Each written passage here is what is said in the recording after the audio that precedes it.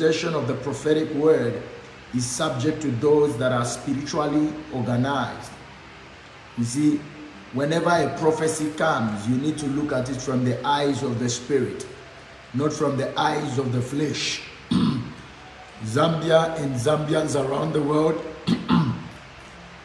especially those that are staying in Zambia, you are in Lusaka, you are in Chongwe, you are in Livingstone, you are in Solwezi, you need to start preparing for a season, a three-year season.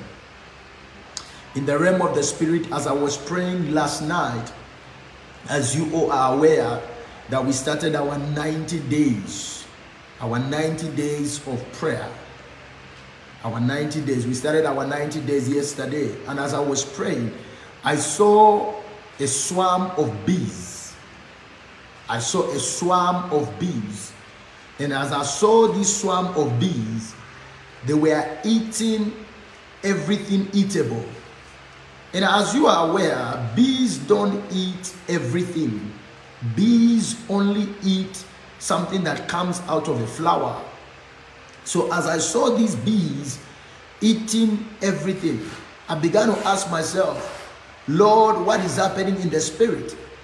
Number one, God said to me that I must come and tell his people in the nation of Zambia that much prayer is needed so that we can cushion this particular suffering that is coming in the next three years starting 2022. Those of you that were with me at the crossover, remember when I was making the declaration that this year was going to be the year of Ephphatha, the year of the open. I made mention that despite it being the year of the open, it's going to be the most difficult year that the nation has ever experienced. Ladies and gentlemen, the kind of suffering that is coming to Zambia, no government will be able to cushion it. No institution will be able to fight it because God have allowed it to come. The Bible says that Pharaoh had a dream, and in his dream, there was someone to interpret his dream whose name was Joseph. And he interpreted the dream. He says there are going to be seven years of scarcity and seven years of plenty. Whether you believe in this prophetic word or you don't believe, the commodity prices in Zambia, everything literally is going to rise. Everything, and I mean everything. Everything. Governments are going to try to cushion it, but they will not manage and they will not succeed. It needs intensifying of prayer and intensifying of wisdom. Are you a business person? Are you a business personality? It is now time to go to the place of wisdom. The place of wisdom. Fuel prices are going to go high. Commodity prices are going to go high. They are going to go high like they have never gone before. The US dollar is going to go up against the kwacha.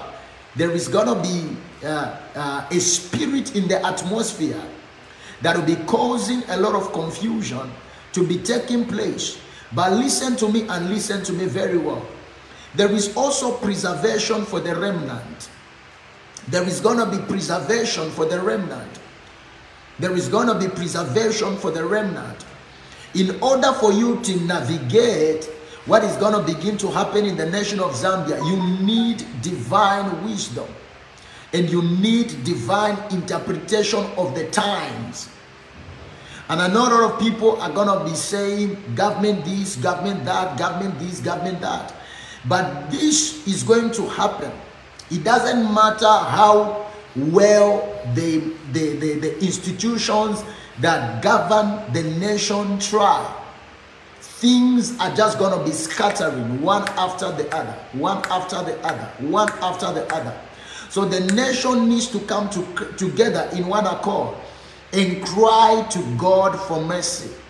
It is only God that can remove the situation that is coming in, in the next few months to come. As I saw these bees, as I saw these bees in the realm of the spirit, I also saw caterpillars And I also saw army worms. And as I saw these army worms, the Lord opened my eyes. As the Lord opened my eyes, the Lord began to speak to me. He said, Go and tell my people to begin to store food. Go and tell my people to begin to store food. If you don't have a savings account in this grace period that you are seeing that things are a little bit easy, I want you to start storing in your savings account. If you have got a savings, uh, uh, begin to store. If you don't have a savings, begin to open a savings account and begin to store for the future because it's going to be hard. Businesses are going to collapse. Businesses are going to be collapse, collapsing. But there is going to be, this is a prophetic word, there's going to be preservation for the remnant. Preservation for the remnant. What this land needs is healing.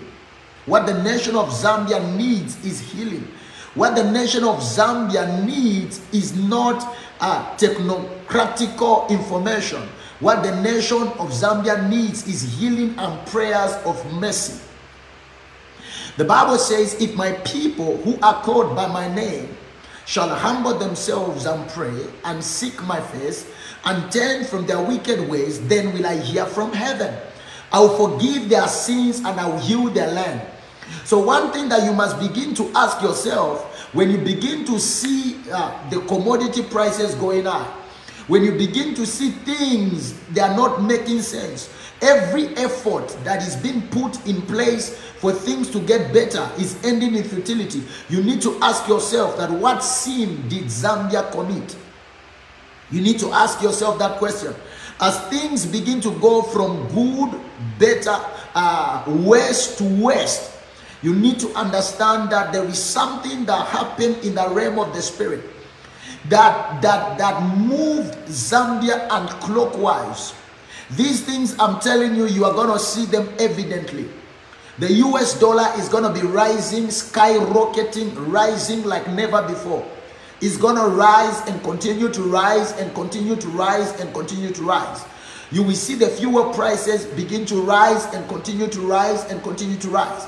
You will see commodity prices rising, continue to rise and continue to rise. So, what do you need to do now? And like I'm saying, you need divine wisdom. Those that are in government and those that are given the responsibility to cushion and to begin to navigate and investigate and begin to put on the ideas in order for the nation to begin to move in a certain direction those people they need that divine wisdom. The wisdom of man is not going to take this nation anywhere. It is the wisdom of god that is going to take the nation forward